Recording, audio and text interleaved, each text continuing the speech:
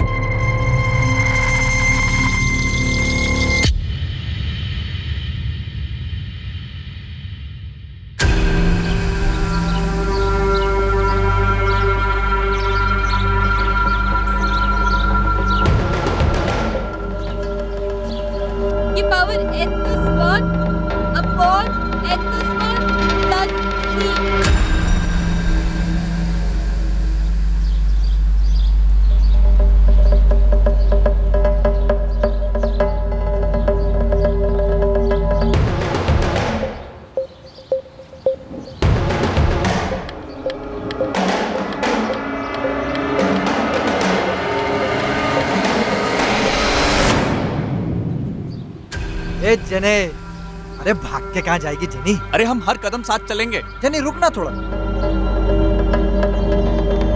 जेने जनी कल तक का समय है तेरे पास?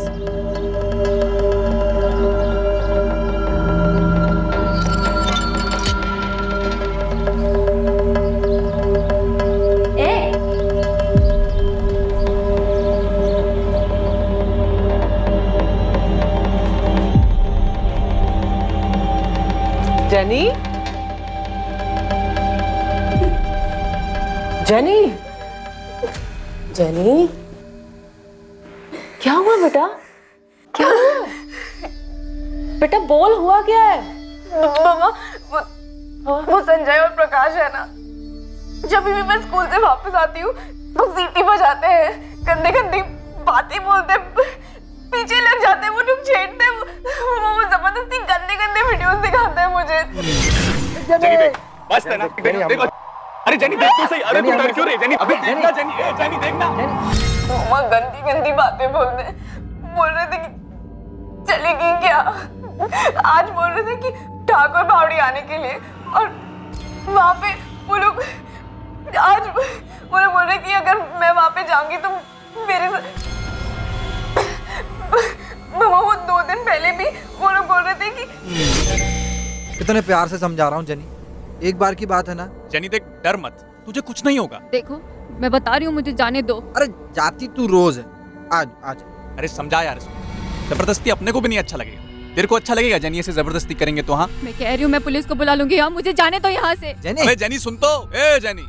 मामा वो लोग धमकी दे रहे कि अगर मैं वहाँ पे नहीं गई तो वो लोग एसिड फेंकेंगे मुझ पे। मामा मुझे कहीं नहीं जाना है प्लीज़ मुझे स्कूल भी नहीं जाना है प्लीज़ मुझे मामा प्लीज़ मुझे स्कूल नहीं जाना बेटा मम्मा है ना? स्कूल नहीं जाना प्लीज़ मेरा बच्चा मुझे रोना नहीं मम्मा है ना? मुझे बहुत डर लग रहा है। मामा प्लीज़ मुझे कहीं पर जाने दो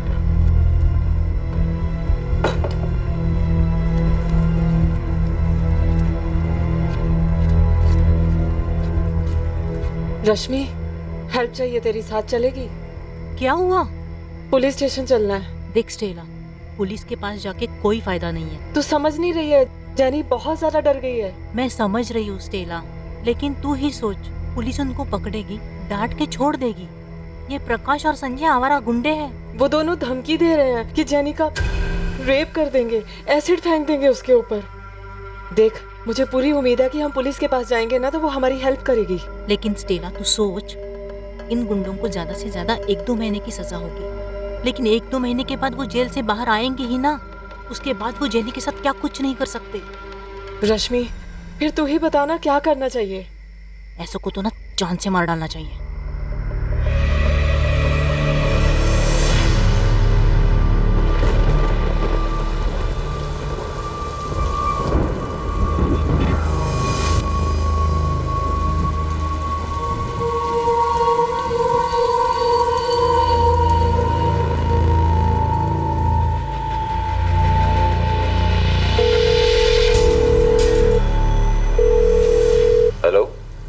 हेलो योगेश स्टेला बोल रही हूँ। स्टेला बड़े दिन बाद याद आई। कैसी हो तुम? मुसीबत में हूँ योगेश हेल्प चाहिए तेरी। क्या हुआ? बताओ। हेल्प करेगा तू? स्टेला हुकुम करो। प्रकाश और संजय जैसे गुंडों से कोई कैसे डील करे जो हमारे देश के हर मोहल्ले हर गली हर नुक्कड़ में पाए जाते हैं? क्या एक चेतावनी उन्हें असामाजिक काम करने से रोक सकती है? या फिर ऐसे असामाजिक तत्वों को दूर करने के लिए ठोस कदम उठाए जाने की ज़रूरत है? क्या ऐसा कोई कदम जेनी की मदद कर पाया? या फिर मामला हाथ से निकल चुका था?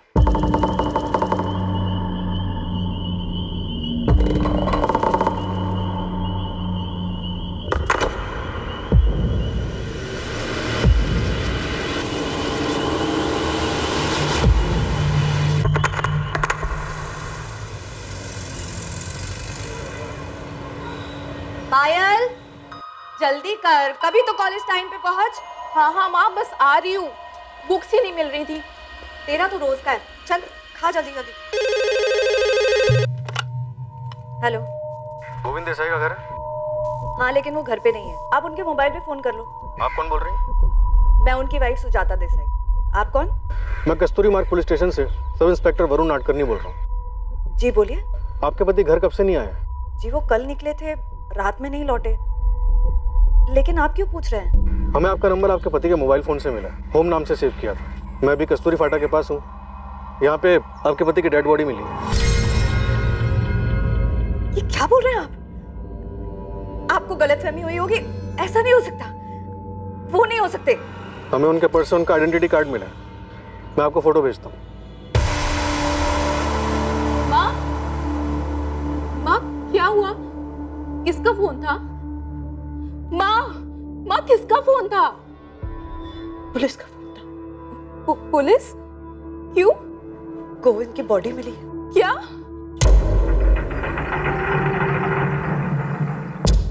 सर पर्स पर्स चोरी नहीं हुआ मोबाइल नहीं है मारने वाला गाड़ी भी नहीं ले गया सुनसान जगह यहाँ पे कोई रोकने वाला भी नहीं होगा। सर सोने की चैन और अंगूठी बॉडी पर वैसी।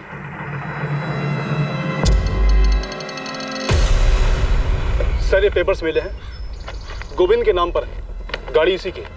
लगता सर इसे बाहर निकाल कर मारा गया है। गाड़ी के अंदर कोई खून के निशान नहीं है और ना खून साफ़ करने कोई निशान नहीं है। हमने घास में देख लिया है। यहाँ पर कोई हथियार नहीं पाया गया है। लेकिन ये आदमी ऐसी जगह पर उतरेगा क्यों? इसे यहाँ पे बुलाया गया होगा गायकवाड़। इसे नहीं पता होगा, इसे गाड़ी से उतार के मार देंगे।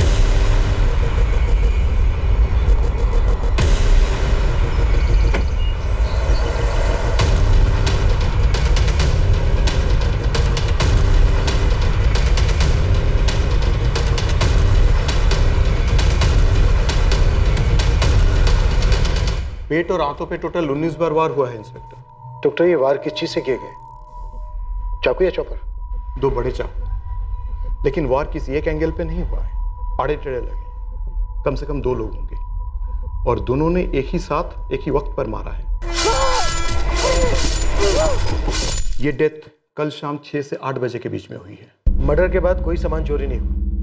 ना गाड़ी ना पैसे ना मोबाइल यहाँ तक कि गोल्ड ज्वेलरी भी। मोबाइल तो वैसे भी अब कोई नहीं चुराते इंस्पेक्टर सब जान गए हैं कि क्रिमिनल्स को पुलिस मोबाइल ट्रैक करके पकड़ लेती है। बाकी की चीज़ें क्यों नहीं चुराई?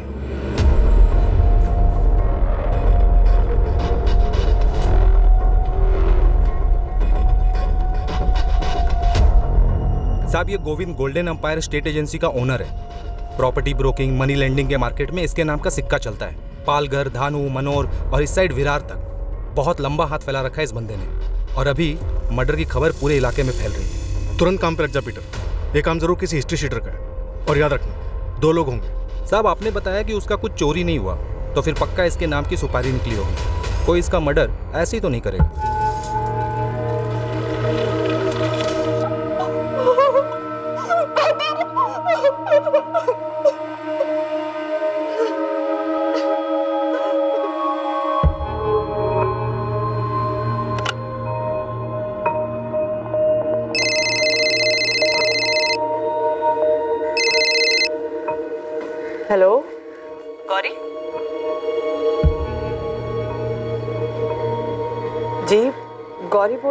बताइए। सब इंस्पेक्टर नैना तांबे। गोविंद देसाई को जानती हो?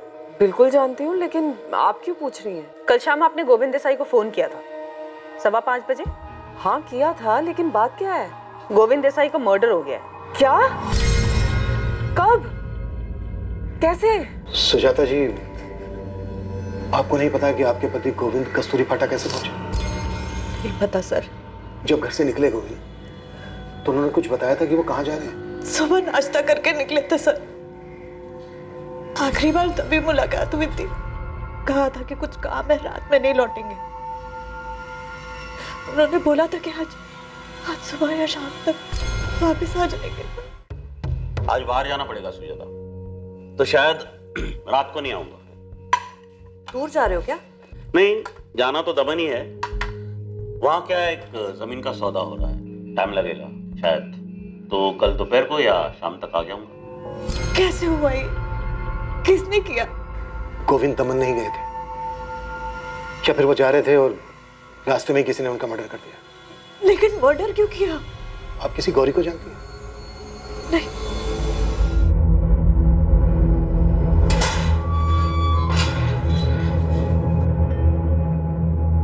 नमस्ते ईश्वर भाऊ। जी तू पता लगा ये कैसे हुआ? किसी ने भी किया ईश्वर भाऊ? अपना क्या है? अपना तो काम हो गया। लेकिन जीतू, ये काम किसका है? मालूम करता हूँ। थोड़ा टाइम लगेगा।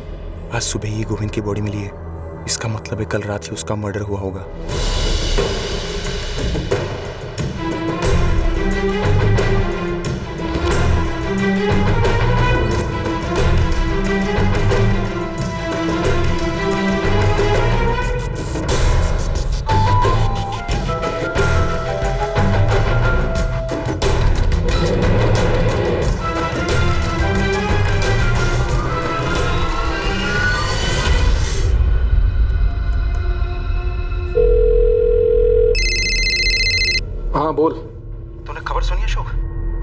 कौन सी खबर? गोविंद का मर्डर हो गया है। मोबाइल पर फॉरवर्ड्स आ रहे हैं। क्या बोल रहा है? किसने मारा? किसने मारा ये तो पता नहीं। लेकिन लोकल चैनल्स पर टॉप न्यूज़ बनी हुई है ये।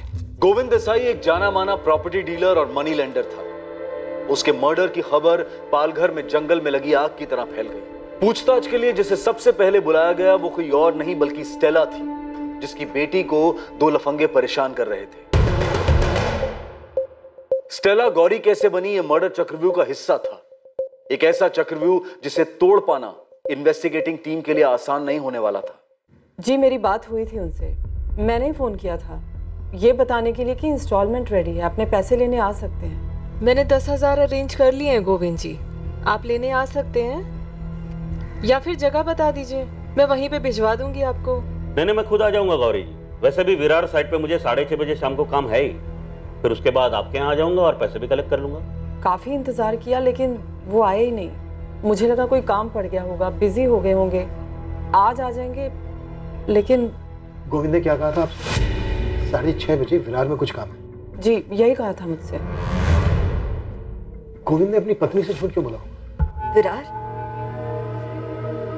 ऐसा तो कुछ नहीं बोला था उन्होंने।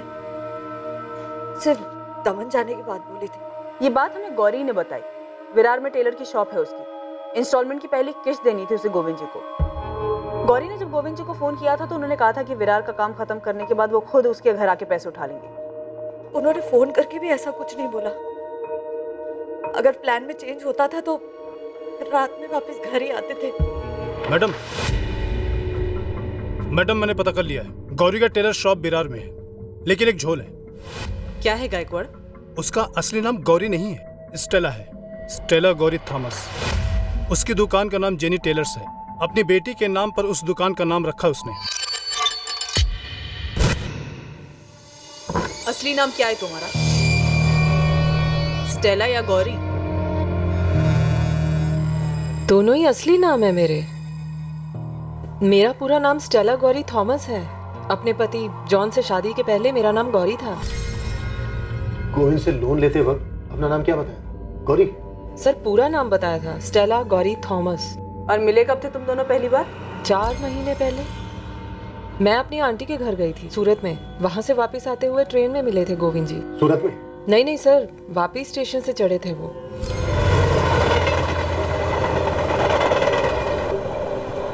मुझे गोविंद जी एक अच्छे आदमी लगे। हमने बातचीत शुरू की तो उन्होंने मुझे बताया कि वो प्रॉपर्टी और मनी लैंडिंग के बिज़नेस में है। तो मैंने उनसे पूछा कि अगर कभी मुझे पैसे की ज़रूरत पड़ी तो मेरी मदद करेंगे क्या वो? मुझे लोन देंगे? गोविंद जी ने कहा कि मुझे लोन देंगे बिल्कुल लोन देंगे लेकिन मुझसे वजह भी पूछी कि मुझे पैसे क्यों चाहिए। तो क्या वजह बताई तुमने? मुझे मेरी बेटी जैनी को इंजीनियरिंग एंट्रेंस एग्ज़ाम्स की कोचिंग क्लासेस में भेजना था। मैंने गोविंद जी को भी यही वजह बताई थी। तो ये क्लासेस तो काफ़ी महँगी होती हैं। कितना पैसा दिया तुमको गोविंद देसाई पिछहत्तर हज़ार। तो तुमने अपना नाम गोविंद को स्टेला गौरी थॉमस बताया था। जी। तो तुम्हारा नंबर गोविंद ने अपने फ़ोन में गौरी के नाम से क्यों सेव किया था? गौरी नाम से ही बुलाते थे गोविंद जी मुझे हमेशा। मैंने सर उनको कितनी बार कहा भी कि मेरा नाम स्टेला गौरी थॉमस है लेकिन फिर भी वो गौरी बुलाते थे। इसमें कुछ अजीब तो है नहीं क्योंकि काफ़ी लोगों को ये नाम बड़ा इजी लगता है। शायद इसीलिए उन्होंने गौरी नाम से सेव किया मेरा नंबर गोविंद ने आपको पिछहत्तर हज़ार रुपए का लोन दिया। ये पैसे कैश दिए थे या फिर चेक कैश लिया था सर और अभी पहली किश्त थी उसकी। और तुम्हारी पहली किस्त से पहले ही गोविंद जी के साथ ये सब हो गया। अच्छा स्टेला ये टोटल अमाउंट पे कुछ इंटरेस्ट भी था या सब माफ़ था? पूरे आठ परसेंट का इंटरेस्ट था मैडम। आठ परसेंट। कुछ तो झोल है। इसे स्टेला गौरी थॉमस का इतिहास भूगोल सब निकालो और इसकी बेटी जानी का। Okay sir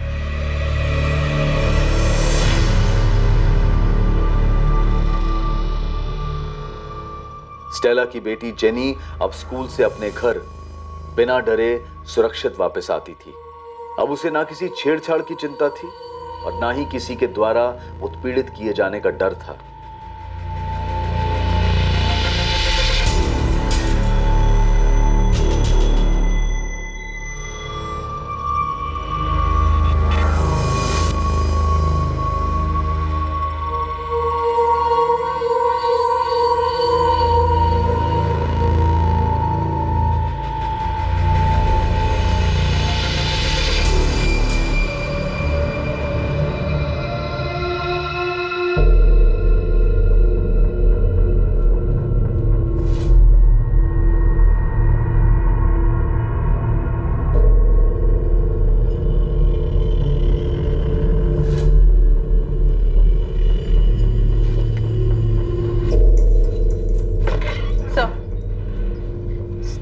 number Govind Desai के फ़ोन रिकॉर्ड में है। स्टेला गोविंद को चार महीने पहले मिली थी तब भी उसका नंबर रिकॉर्ड्स में? यस सर कुछ तो गड़बड़ है नैना। लोन लेने वाली औरत अपना नाम स्टेला गौरी थॉमस बताती है और लोन देने वाले को उसके नाम में सिर्फ़ गौरी पसंद आता है। और वो उसका नंबर अपने फ़ोन में इसी नाम से सेव करता है। क्यों? तो आपका मतलब पैसों के लेन देन के अलावा भी कोई मैटर हो सकता है? हालाँकि अभी ठीक से कुछ कहा नहीं जा सकता पर कुछ भी हो सकता है। फिर तो सर हमें इस गोविंद देसाई का बैकग्राउंड अच्छे से चेक करना होगा।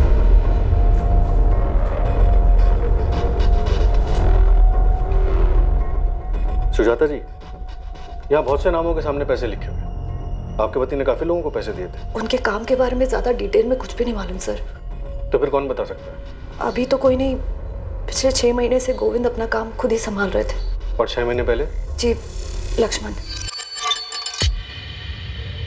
मैंने उससे बात कर ली है। छह महीने पहले जितनी भी प्रॉपर्टी डीलिंग्स हुई हैं और जितने भी लेन देन है उसकी डिटेल्स आपको दे देगा। आपके पति के कोई ऐसे दोस्त हैं? जिनसे हम बात कर सकें? दो हैं अशोक और नरेश। वो उनके बहुत पुराने दोस्त हैं। हमें उनके नंबर चाहिए। जी। सुजाता जी क्या आपको किसी पे शक है कि आपके पति गोविंद के साथ ऐसा कौन कर सकता है? देखिए क्राइम सीन वैसा का वैसे ही था। ना कुछ छुपाया गया ना मिटाया गया। कोई छेड़छाड़ नहीं हुई। आपके पति का सामान भी चोरी नहीं हुआ। हंड्रेड परसेंट ये मर्डर किसी पर्सनल मैटर की वजह से हुआ। सर अंदाज़ा लगाना तो बहुत मुश्किल है। मेरे पति बहुत अच्छे आदमी थे सर। सर आप आप किसी गौरी के बारे में पूछ रहे थे वो कौन है? हाँ यहीं विरार में रहती है। Stella Gauri Thomas. आप कुछ याद करके बता सकती हैं? कभी आपके पति ने इस नाम का कोई ज़िक्र किया हो? सर वो हमें अपने काम से दूर ही रखते थे। कभी कहीं आना जाना होता था तो बता देते थे। उस दिन भी बताया था कि दमन जा रहे देखिए, दमन जाने की कोई भी बात हमारे सामने नहीं आई है। हमने उनके फ़ोन रिकॉर्ड लोकेशन चेक किए। ऐसा कुछ भी सामने नहीं आया कि वो दमन गए थे या दमन में थे। सुपारी है बेटा। ईश्वर गरुड़ का नाम तो सुना ही होगा। धानु के जेल में आराम कर रहे इस वक्त। उसी ने यह सुपारी उठाया था गोविंद के नाम का। उसका एक पंटर है, जीतू तलपड़े और इस जीतू ने पंद्रह हज़ार रुपये दिए थे। हिस्ट्री सीटर चंदू को। इस गोविंद को दुनिया से उठाने के लिए। तो मतलब तू कह रहा है कि सुपारी सबसे पहले मिली ईश्वर गरुड़ को। उसने दी अपने पंटर जीतू को। जीतू ने आगे बढ़ाई चंदू को। तू मुझे एक बात बता ईश्वर गरुड़ को सुपारी बेची किसने? अब ये बेचने वाले एक जगह दुकान लगा कर थोड़ी बैठे बेटा मुझे जितनों के नाम पता थे तुझे बता दे। गरुड़ सबका गुरु है। साहब को बोल इस गरुड़ को अच्छी तरह से गुरु दक्षिणा देने के लिए। सब बता देगा। देखो ज्योति जो भी था मैंने सब बता दिया। मैं कुछ नहीं छुपाता। पर तुमने ऐसे क्यों किया रतन? क्यों? तूने जो किया वो क्यों किया? क्या ज़रूरत थी? गोविंद हमारे बचपन का दोस्त था सर। काफ़ी टाइम तक मिलना जुलना था हमारा उससे। काफ़ी टाइम तक था। मतलब फ़िलहाल नहीं था। क्यों ऐसा गोविंद बदल चुका था सर। अब मरे हुए इंसान के बारे में क्या बात करें? ऐसा भी क्या बदलाव आ गया था गोविंद में? गुरूर सर। गुरूर पैदा हो गया था उसमें। पैसे का गुरूर जो हर कोई नहीं संभाल पाता। जिसने अच्छे अच्छे को बदल दिया सर। हमारा दोस्त भी बदल गया था सर। अमीर होने का रौब झाड़ता था हम पर। और क्या क्या खूबियाँ थी तुम्हारे समीर दोस्त में? खास करके ऐसी जिसकी वजह से उसका मर्डर हो गया। सर उसके मर्डर का तो हमें कोई अंदाज़ा नहीं है। तकरीबन दो साल पहले हम लोगों ने उससे अपनी दोस्ती खत्म कर ली थी। क्या करते सर? जब भी मिलते थे पीने के लिए, वो हम दोनों को नीचा दिखाने की कोशिश करता था। बोलता था, मैं कहाँ? तुम दोनों कहाँ? सर, दोस्ती में मज़ाक उड़ाया जाता है, पर इज़्ज़त भी दी जाती है, जो गोविंद में नहीं दे रहा था। तुम लोग सीधी बात कर रहे हो? मैं भी सीधा मुद्दे पर आता हूँ। सत्रह तारीख को दोपहर को, जब गोविंद लंच पर अपने घर आया तो अपनी वाइफ सुजाता से यह कहकर गया कि वो दबन जा रहा है। अब तुम लोग ये बताओ कि गोविंद ने अपनी वाइफ से झूठ बोला या उसकी वाइफ हमसे झूठ बोल रही है?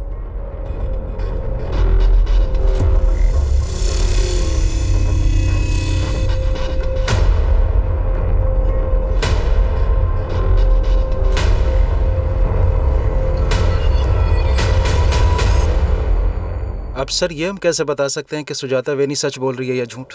और वैसे भी सर हम तो उससे दूर हो गए थे। सर अगर आप गोविंद के मर्डर के बारे में सच पूछना चाहते हैं तो उसके राइट हैंड लक्ष्मण से पूछिए। वो सही आदमी है। अगर सच बोलेगा तो। सर मैं छह महीने पहले तक का हिसाब किताब जानता ये सारे लेनदार हैं रजिस्टर में ही मेंटेन करता था। सर गोविंद जी के दो प्लॉट दमन में है एक वापी में और यहाँ तारापुर में दो प्लॉट हैं। और ये सब छह महीने पुरानी बात है सर। छह महीने पहले ऐसा क्या हुआ था? उन्हें जॉब क्यों छोड़ दी? हमने सुना है तू गोविंद जी का राइट हैंड बन गया था। गोविंद जी ने अपना राइट हैंड खुद काट के फेंक दिया था। मैं निकला नहीं था निकाला गया लक्ष्मण ये तेरे रजिस्टर में रमाकांत के बीस हज़ार कहाँ से पैदा हो गए बे? ये क्या बोल रहे भाऊ पंद्रह तारीख को आपको कैश दिया था। आपने तो एंट्री की थी। अच्छा? मेरी डायरी में तो एंट्री है नहीं इसकी। लिखा है क्या कुछ इधर? केड़ा समझा मेरे को? हाँ? ये धंधे में तेरा बाप हूँ मैं साले समझा ना? भाऊ ऐसे बात मत करो। गलती आपसे हुई है। एंट्री आपने नहीं की। मुझसे गलती हुई मुझसे गलती हुई ठीक ये मुकेश पवार ने तीस हज़ार रुपये दिए। देख ना इधर देख तूने लिखा है ना। कहाँ है पैसे कहाँ है? पैसे कहाँ है?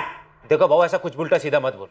जब भी कैश आता है उसको काउंट करता हूँ आपको देता हूँ उसके बाद रजिस्टर में एंट्री करता हूँ। आप अचानक से बोलोगे तो कैसे याद दिलाऊं भाऊ भाऊ पिछले तीन साल से इस ऑफ़िस में काम कर रहा हूँ। आप अचानक से ऐसा नहीं बोल सकते। तीन साल से तू काम नहीं कर रहा है। तीन साल से ना तू सिर्फ़ मुझे छूना लगा रहा है। अब तक तो लखपति बन गया होगा। कितने पैसे बनाए रे? कितने पैसे बनाए बोलना बोलना सर ऐसे कैसे थप्पड़ मार सकते थप्पड़ सर सीधा दिल पे लगा। उसने बोला निकल जा। मैं निकल गया सर. तो सच में घपला करता था? सर मेरा नाम लक्ष्मण है गोविंद नहीं। ईमानदारी से काम करता हूँ। कोई घपला नहीं किया सर मैंने। तो तेरे कहने का मतलब है गोविंद घपला करता हूँ अब मरने वाले के बारे में बुरा क्या बोलूँ? वही नहीं की इज़्ज़त करता वो खुद से नहीं मरा लक्ष्मण? उसे मारा गया बोलना तो तुझे पड़ेगा। क्या बोलूँगा सर? इस लिस्ट में जितने लेनदार है ना किसी से भी पूछ लो कोई कुछ नहीं बोलेगा। और बहुतों को तो सर पता भी नहीं होगा। तुझे तो पता है। तू बोल। सर मजबूर लेनदारों की बीवियों के साथ सोता था दिन रात सब एक थी उसके। बहुत औरतों को अंदर आते देखा। किसकी बीवी है मुझे नहीं पता। पर मैं सिकंदर के शैतान को पहचान गया था। ऐसे कितने लेनदारों के इंस्टॉलमेंट माफ़ कर देता था। मैं कुछ पूछता था तो बोलता था ए तेरे बाप का पैसा है क्या? झापड़ मारा सर। पर मैंने कोई घपला नहीं किया सर। साला एक नंबर का सुजाता वहीने को तो उसकी करतूतों के बारे में पता भी नहीं होगा। दमन बोल के गया था यही है जो गौरी है उसके साथ। इधर भी कुछ उल्टा सीधा किया होगा सर। तो गौरी को जानता है? Stella Gauri Thomas? नहीं सर। बड़ा अजीब सा नाम है। पहले कभी नहीं सुना था लेकिन वैनी ने बताया उसके बारे में। मेरे टाइम पे कभी गौरी ने कोई लोन नहीं लिया। तूने किसी मुकेश पवार का ज़िक्र किया था। इसमें लिखा है कि मुकेश ने पंद्रह लाख रुपए लिए थे। कितना पैसा लिया था उसने। हाँ सर एक साल पहले लिए थे। बल्कि मुकेश जी तो तीस हज़ार रुपये मुझे पकड़ा के भी गए थे। तो बस तीस हज़ार है मुकेश भाव तो थोड़ा इंटरेस्ट कम करवा दे तो अरे मैं कौन सा मालिक हूँ मुकेश भाव इसके लिए गोविंद भाई से बात करो ना। तो गोविंद और उसके कपड़ों के बारे में काफ़ी कुछ जानते चल एक तुक्का लगा। किसने मारा होगा गोविंद को? और हम तुझे जाने देंगे। सर मैं कैसे बता सकता हूँ? लेकिन हंड्रेड परसेंट इन्हीं लेनदारों में से किसी एक का गुस्सा उतरा है सर। सर गोविंद बहुत नीचे से उठा था। उनके दोस्त अशोक जी और नरेश जी से आपकी बात हुई है ना? सर जैसे वो बड़ा बना ना गरीबी भूल गया। चमड़ी था एक नंबर का। देख करोड़ सब जानता हूँ मैं। जो नहीं जानता हूँ वो पूछ रहा हूँ। अगर जरा भी नाटक किया ना तो चौड़ी उधेड़ के रख दूँगा। नाटक तो सुपारी में हुआ था। एक ही आदमी का डबल सुपारी कैसे निकला मेरे को नहीं मालूम साहब। एक पहले मत हो जा नहीं तो ऐसा तोड़ूँगा कि ज़िंदगी में कभी सुलझ नहीं पाएगा समझा? अरे मैं सच बोल रहा हूँ साहब। गोविंद का सुपारी मेरे को तेरह जुलाई को मिला था लेकिन मेरा किस्मत खराब कि चौदह को मेरे को आरके ज्वेलर्स की केस में अंदर जाना पड़ा। तो फिर मारा कैसे उसको? अरे मैंने थोड़ी मारा साहब। सत्रह तारीख तक तो मैं कोर्ट के चक्कर में फंसा हुआ था। सत्रह को जैसे फ्री हुआ मैं जेल में बुलाया अपने पंटर जीतू को। नमस्ते ईश्वर पाँच दिन लेट हो गए ना। और ज़्यादा लेट नहीं होना चाहिए। गोविंद देसाई कल के कल टपका डाल इसको। अपने तरफ़ से तो अठारह को ही इसका गेम बचने वाला था लेकिन अठारह को मेरे पंटर ने बताया कि सत्रह को शाम को उसको ऑलरेडी किसी ने आउट कर दिया था। अपनी तकदीर तो इंग्लैंड टीम जैसी निकली। बॉल को बैट लगा ओवर थ्रो का चार रन मिल गया। टपकाने का पैसा तो एडवांस में मिला ही था साहब। तो फिर किसने मारा गोविंद को? अभी पता नहीं चला साहब गेम तो कोई और ही बचाया लेकिन साहब इस मटर में आप उनका नाम नहीं लिखना साहब। मैं जीतू को बोला है जल्दी से जल्दी मालूम कर। जैसे ही खबर मिलती है मैं आपको खबर कर दूँगा साहब। ये केस मुझे जल्दी से जल्दी क्लोज करना है। अब तू ये बोल तुझे सुपारी किसने दी? ओ रतन देश माने नाम है उसका साहब। क्या लफड़ा था उसका गोविंद के साथ? अब साहब सुपारी देने वाला ये सब थोड़ी ना बताता है साहब। धंधे का उसूल है आम खाने का गुटली नहीं गिनने का।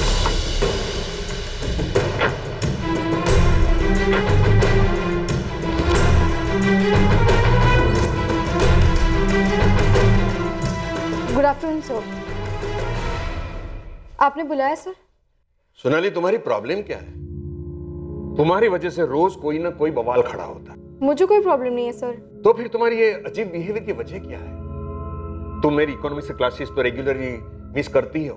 ऊपर से जो भी क्लास अटेंड करते हो वहाँ तुम्हारे बेतुकी सवाल की वजह से क्लास का वक्त जाया होता है। सर सवाल करने से वक्त जाया होता है। No Sonali I am not saying that लेकिन तुम जो भी सवाल करो सिलेबस के हिसाब से करो। तुम इंटेलिजेंट हो, पर इसका मतलब ये तो नहीं ना कि तुम सिलेबस के ऊपर ही सवाल करो, या अपने प्रोफेसर को उल्टे सवाल पूछो। एक बात गांठ बाँध लो ज़िंदगी में कुछ भी आइडियल नहीं होता। हम सिलेबस में पढ़ाते हैं कि बैंकिंग सिस्टम की वर्किंग मेथड क्या है। बैंक कैसे काम करता है, या उसे कैसे काम करना चाहिए। दुनिया में ऐसा नहीं होता है, नहीं होता है तो क्यों नहीं होता है? ये सारे सब्जेक्ट्स पर घंटों तुम बहस नहीं कर सकती हो।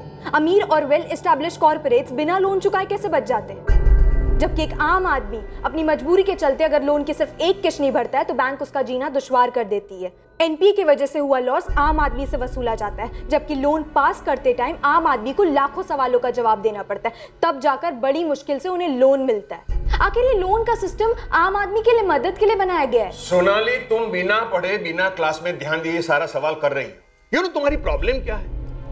तुम्हारी ध्यान सिलेबस पर नहीं, सवाल जवाब पर ज़्यादा है। चैप्टर नंबर एट एनपीए के बारे में। चैप्टर नंबर सिक्स ये बताता है कि बैंक किसको लोन देने लायक किस कंडीशन में समझता है।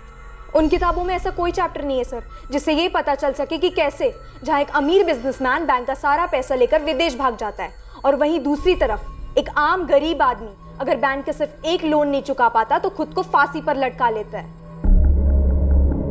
सर ये पढ़ा आपने? हाँ। पढ़ा है। तो अच्छा अब तुम्हारा नया सवाल ये मर्डर केस को लेकर होगा सर ये बंदा गैर सरकारी तरीके से लोगों को पैसे उधार देता था। एक प्राइवेट मनी लेंडर था। सवाल ये है कि लोग आखिर क्यों मजबूर हैं ऐसे ब्याजखोरों से पैसे लेने के लिए?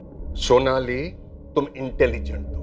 तुम जो चाहो वो हासिल कर सकती हो इसलिए मैं तुम्हें कह रहा हूँ। बेवजह सवाल उठाकर तुम्हारी एनर्जी तुम्हारा वक्त जाए मत करो। हर एक की ज़िंदगी में उतार चढ़ाव आते हैं। और यही ज़िंदगी का नियम है। इसका मतलब ये तो नहीं ना कि हम उसमें ही उलझ कर रह जाए।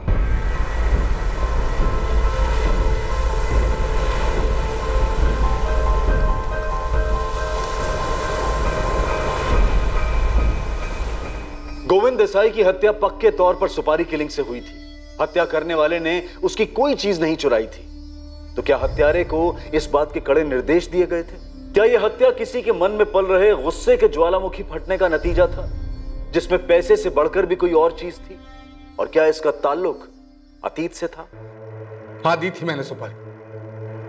गुस्सा था उस गोविंद से। मार डालना चाहता था उसको अपमानित महसूस कर रहा था। ईश्वर गरुड़ क्रिमिनल है।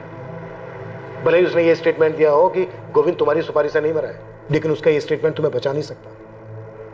तुम भी उतने ही दोषी हो। कोई अफसोस नहीं है सर। कोई अफसोस नहीं। मेरी पत्नी के साथ मेरी पत्नी के साथ सोया था वो।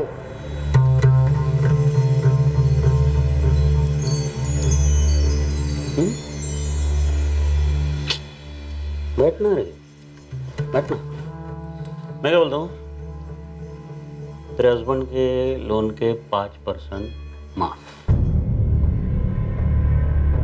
मुझे लगा सारा लोन माफ़ हो जाएगा। कैसी बात कर जो? एक बार में एक बार में पूरा पाँच लाख माफ़। हम्म? ठीक है ना? उसके बाद देख लेते कितना माफ़ कर सकता हूँ। ठीक है ना? आप समझ नहीं सकते।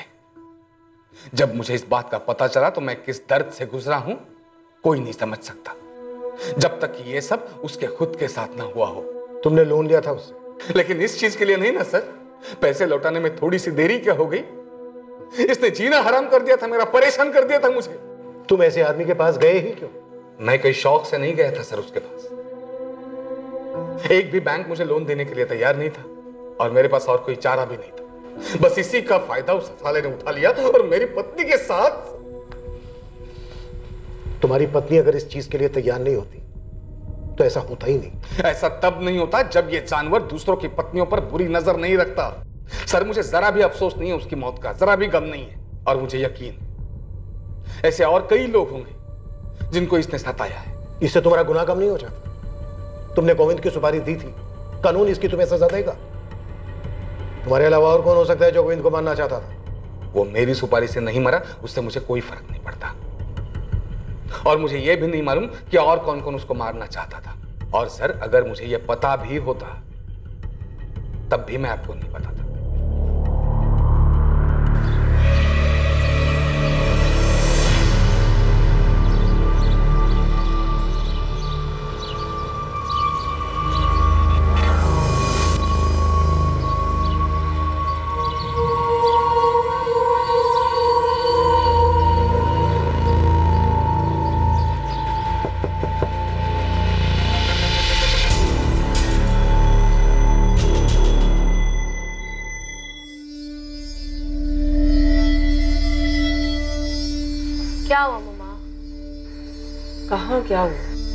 शक्ल को इतनी उतरी हुई क्यों है?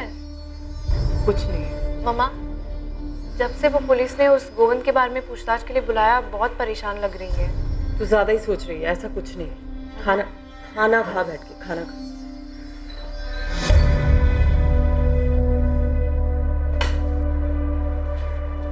मम्मा आपने वो संजय और प्रकाश को क्या बोला था? यही? कि मेरी बेटी को परेशान न करे। बस। आपने इतना बोला और वो लोग मान गए? हाँ बस यही बोला। लेकिन जैसे बोलना चाहिए था वैसे बोला। अब बातें मत कर खाना खा। खाना खा।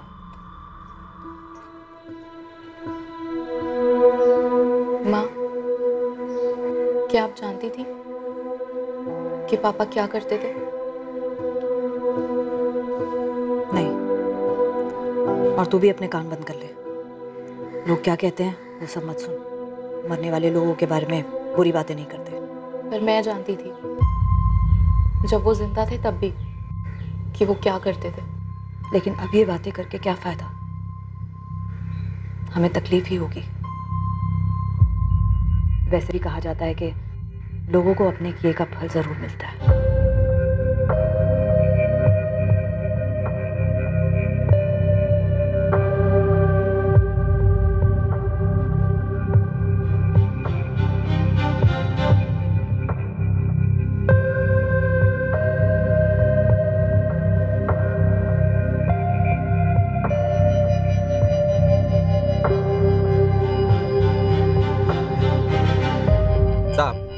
गोविंद का मर्डर रतन देशमाने के सुपारी की वजह से नहीं हुआ। इसके पीछे दो अलग बंदों का हाथ है ईश्वर और उसका राइट हैंड जीतू। इन लोगों ने सब अरेंज किया था। अभी दोनों गायब है पर न्यूज़ कंफर्म है कि इन दोनों ने मर्डर नहीं किया। मैंने तुझे दो आदमियों का कच्चा चिट्ठा निकालने के लिए कहा था। क्या हुआ उसका? अच्छा वो मुकेश पवार ना सब? हाँ उसका भी निकाला है ना?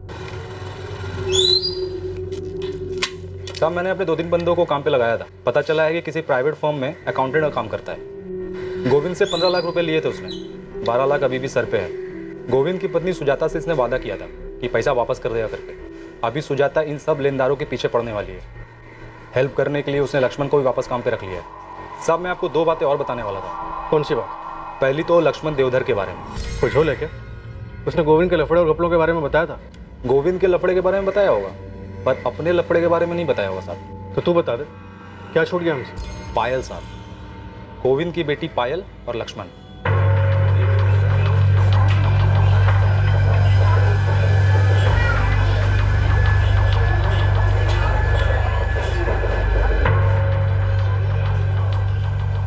मतलब है पायल और लक्ष्मण के बीच में चक्कर है? लग तो रहा है साहब मतलब अकेले में बहुत मिलते हैं लोग। खाली दोस्त तो नहीं हो सकते। पायल की मत सुजाता उसे पता है क्या? अब ये तो वही बता सकती है साहब। हालाँकि उसने लक्ष्मण को वापस काम पे तो रख लिया है। गोविंद के धंधे के बारे में बहुत नॉलेज है उसको। और दूसरी बात? दूसरी बात ना दो साल पुरानी है। अपने पालघर में एक सुसाइड हुआ था। विनोद विचारे नाम था मरने वाले का।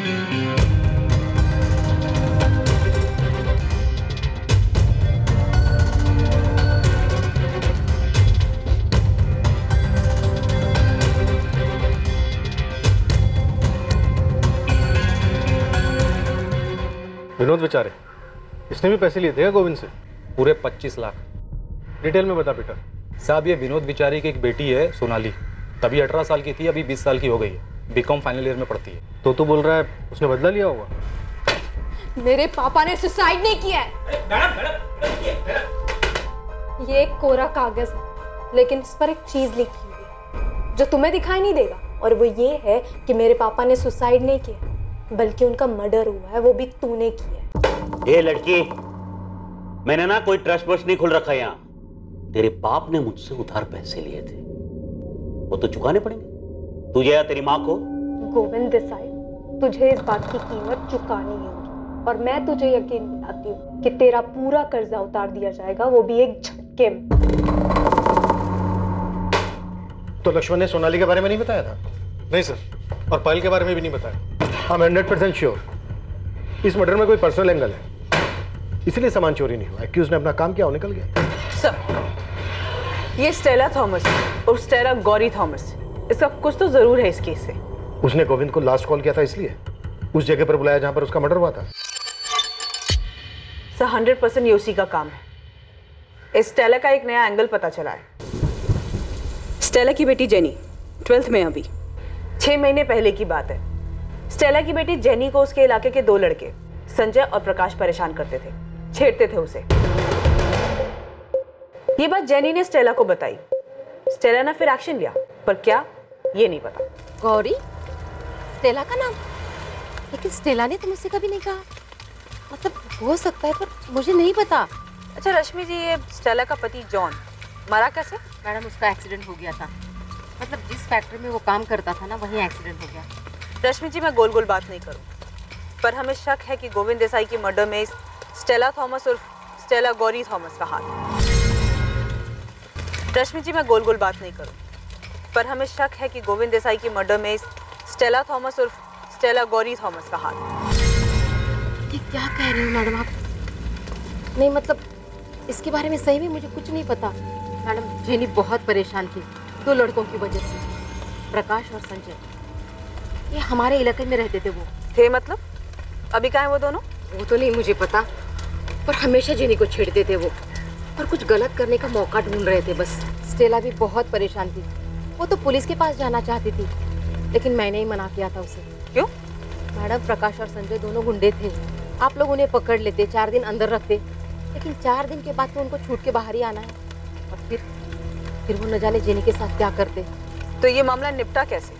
मतलब उन दोनों ने जेनी का पीछा कैसे छोड़ा? ये सब तो मैं नहीं जानती मैडम। बस मैं इतना जानती हूँ कि स्टेला ने कैसे भी करके उनके मचमच को निपटा दिया था। सलाम मैडम। मैडम मिस्टर इंडिया बन गए ये प्रकाश और संजय। कहाँ गायब हो गए किसी को कुछ पता नहीं। कुछ पता नहीं मतलब? छह महीने से गायब गणेश तो स्टेला की जड़ें खोद के निकाल। देखे तो क्या चीज़ है ये? कैसे गायब करवाया इसने इन दोनों लड़कों को? ठीक है?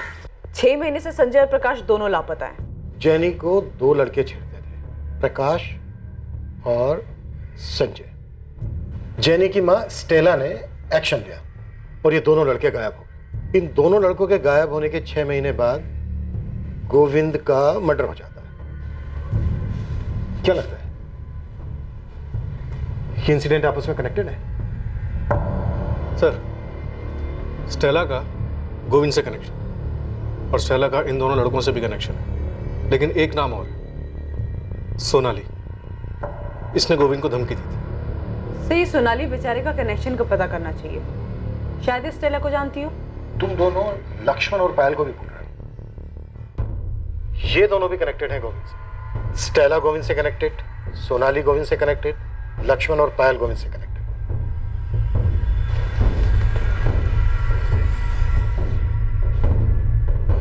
है क्या ये चक्रव्यूह? योगेश पुलिस पूछ रही थी। क्या बोलूँ मैं? ये तुमने किया क्या है प्रकाश और संजय के साथ? तू टेंशन मत ले स्टेला। अब वो दोनों कभी वापस नहीं आने वाले। जेनी सेफ़ है। टेंशन मुझे पुलिस दे रही है योगेश। तुम तुम बताते क्यों नहीं? किया क्या है तुमने उन दोनों के साथ? मैंने बोला ना वो कभी वापस नहीं आएँगे। तू आराम से घर पे बैठ।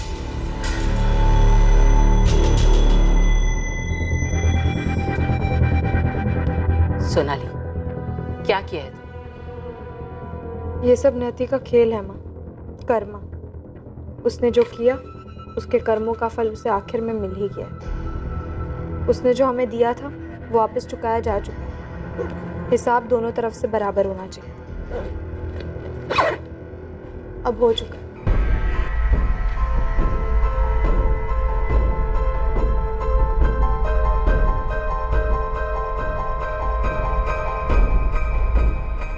अंधेरा अब हमारी ज़िंदगी से चला गया है, पायल। तुझे अपनी ज़िंदगी जैसी जीनी है, वैसी जी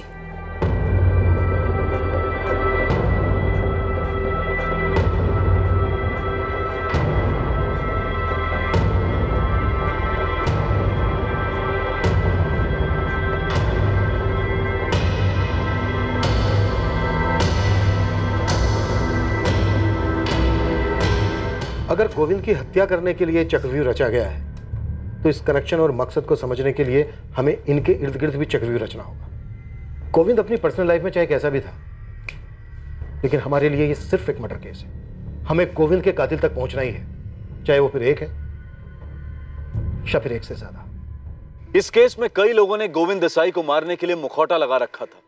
वो वैसा नहीं दिखा रहे थे जैसे वो असलियत में थे। उनमें से ज़्यादातर लोग गोविंद की मौत चाहते थे। और हुआ भी ऐसा ही। लेकिन जिन लोगों ने यह चक्रव्यूह रचा था, उनके बीच का कनेक्शन पता कर पाना आसान नहीं था। इस जुर्म का जाल इतनी बारीकी से बुना गया था कि इसका कोई सिरा खुला नहीं था, जिसे पकड़कर पुलिस इस जाल को सुलझा पाती। लेकिन यह ऐसा मर्डर नहीं था जिसे फाइलों में दबने के लिए छोड़ दिया जाता। पुलिस अपराधियों तक पहुँची। अपराध करने वाले और उसकी साजिश रचने वाले के बारे में जानना चौंकाने वाला था। कल इस केस के दूसरे और आखिरी भाग में हम पता करेंगे कि आखिर किसने रचा था ये चक्रव्यूह? अब मैं अनूप सोनी आपसे विदा लेता हूँ। फिर मुलाकात होगी।